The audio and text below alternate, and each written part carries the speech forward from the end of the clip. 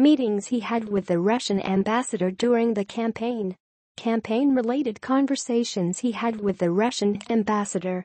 Shutting down campaign aide George Papadopoulos after Papadopoulos suggested then-candidate Donald Trump and Vladimir Putin get together. Attorney General Jeff Sessions said he couldn't remember any of these events, that is until the media Robert S. Mueller III's investigation remembered them for him. That's the key takeaway from Sessions' hearing before the House Judiciary Committee on Tuesday. What is typically a routine check-in between Congress and the head of the Justice Department got political real fast, largely because of Russia. Here are four takeaways from Sessions' nearly day-long hearing. 1.